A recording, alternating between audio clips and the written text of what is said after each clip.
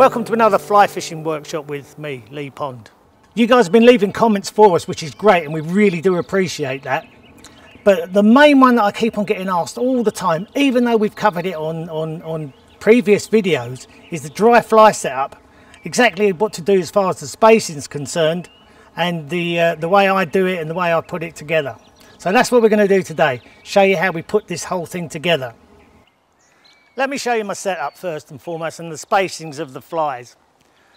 I've already got this one set up, but I will go through the knots with you and show you how I do my knots. There's a few different ways of doing them. I'm going to show you the way I do it. It works, so why not? So, that's, uh, that's my first fly. My first fly is around about six foot from the fly leader itself and I attach it just with a half blood knot. That's all it is, just straight onto the loop. Six pound Fulling Mills running straight through. I don't have a tapered leader or anything, it's just six pound all the way through. Fluorocarbon so that it sinks below the surface, obviously degrease, etc, etc. We've run through that in one in a previous video. So, to the first fly. I'm not going to do it in feet and inches, I'm going to do it just as a, as a measurement with my arms because you know it's just a lot simpler to do it. So there we are, it's not quite a full armful, so that is probably around about six foot I'd say. Six foot to the first fly there anyway, 100%. Second fly, slightly less, around about five foot. And then the last fly, same again, around about five foot and that's all you need to know. Now, but as I said to you, that these are full uh, full blood knots I'm putting on my droppers. A lot of people use four-turn water knot. It's just something that I've been brought up with. I'm going to show you the tying of it um, because it does, the presentation on that is slightly different. It sticks out slightly more than a, than a, than a, a four-turn water knot. It actually sticks out from the side. As I say, I'm going to run through that with you in a minute so you can see what, um, what I'm doing there. The length of those droppers is around about eight inches. I don't keep them too long. And I know that if you're changing flies continuously all day, that's going to shorten up, but pff, I sometimes just throw another, another, another dropper in there, another knot in there, and keep them relatively short because the longer they are, the more prone they are to tangling as far as I'm concerned. I find that that works perfectly well for me. And yeah, it works for me and that's all that really matters, I suppose. Confidence is another thing. Confidence is everything in fishing. So there you go, that's the, the leader setup. Let me show you how to tie that full, that full blood knot. I know there's a lot of you guys that this is like second nature to you, but there's a lot of guys out there that just don't know how to do it. So I'm going to show you. So I'm using two different coloured uh, lines for this demonstration just to give you, so you can see what I'm actually doing. This one, the pink one, is the main line coming from your rod. And what we're doing, we're going to cross it over, lengthen it to the, side, the length that you want your dropper to be, which is around about 8 to 10 inches. And then with this one, we're going around five times. One, two, three, four, five. And back through the hole that you've made. Pull it tight. Pull that tight. And this is the tricky bit, is the transition over from holding it with this hand to the next hand. So you're just pulling it across and keeping all of it together. Takes a bit of getting used to this knot, but once you've mastered it, it is worth it, trust me. And then we're going round with the main line, round the second bit, which is one, two, three, four, five, and back through the opposite way. So that they're both not coming out the same side. Now, this is the bit, I suppose, that um, everybody struggles with, with because you've now got to pull it all tight in one go. I use my mouth. You're pulling it tight there, and then with these two, I'm getting to that stage so that it's not pulled tight, properly tight yet. Because what I want to do is just put a little bit of saliva on it I suppose with the COVID and the health and safety, that's probably not the best thing to do, but it's the only way to do it that I know. And now pull it tight. Putting that saliva on it is just not going to burn the line and uh, end up in a breakage. trim the yellow one back, leave a little bit sticking out, just a tad. Because if you haven't pulled that line properly tight, when something does pull on that, it gives you that option, that just that little bit of security to so that it'll just just won't snap. It'll just just shorten that little small bit up and, and just won't snap. So now we've got our dropper, which is eh, around about eight inches long. Now the reason we've done it like that and the way we've got it, as you can see, it sticks out from the side. When you do the four turn water knot, it lays the whole length of it there. And I'm not saying that when you've got that in the water, it doesn't lay next to it when you're pulling it fast, because it will do. But when you've got a dry fly set up, it will stick out and sit away from the rest of the line in my view.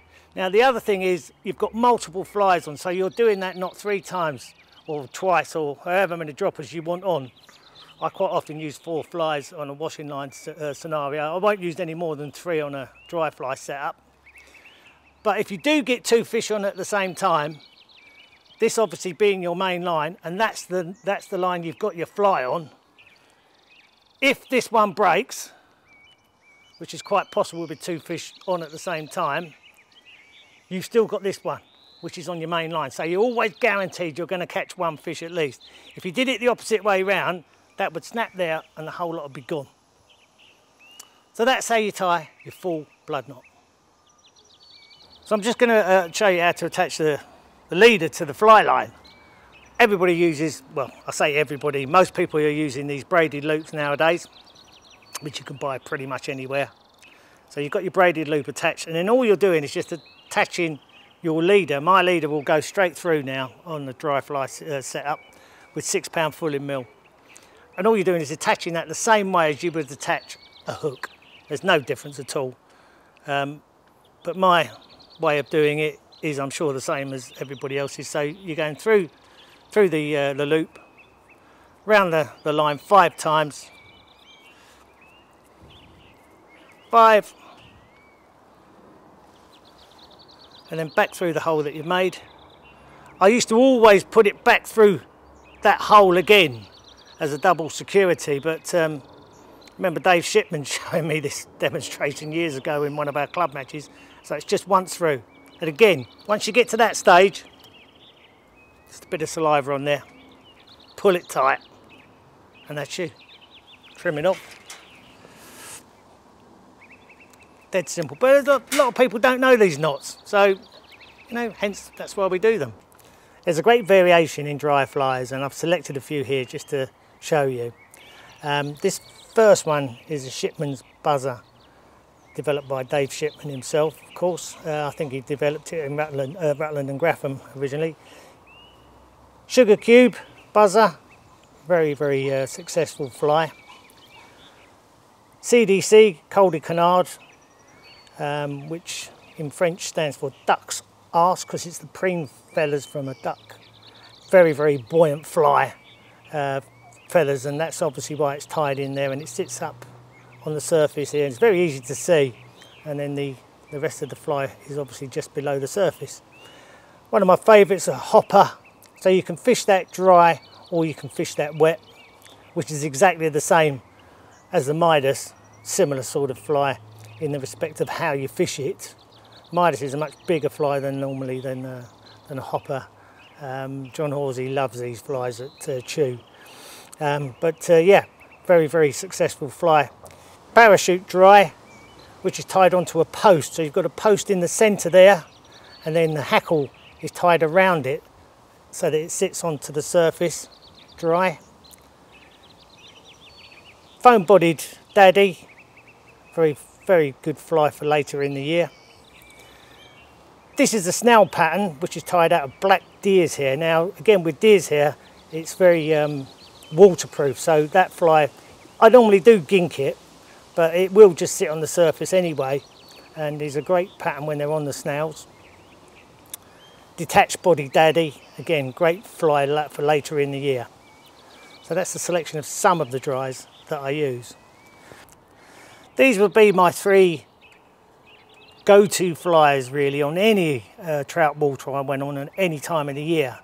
But it's somewhere like Grafham or Rutland, you've got a nice overcast day and a light ripple. I'd start off with these three.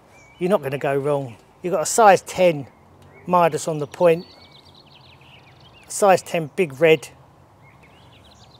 and a 12 hopper, little red hopper on the top dropper. Of course, it depends on what the, the hatch is. If there's other things hatching off, then you may want to change those flies, but I promise you, using those three flies is going to catch your fish at some point. We hope you found these demos helpful. Dry fly fishing is only as difficult as you want to make it. If you stick to these simple guidelines, I'm sure it will help your confidence and your catch rate. Thanks for joining us. We truly appreciate your input. So if you've got any ideas for any future videos, leave them down here for us. And if you haven't done already, push that subscribe button. Thanks for joining us today. We hope to see you again soon and tight lines.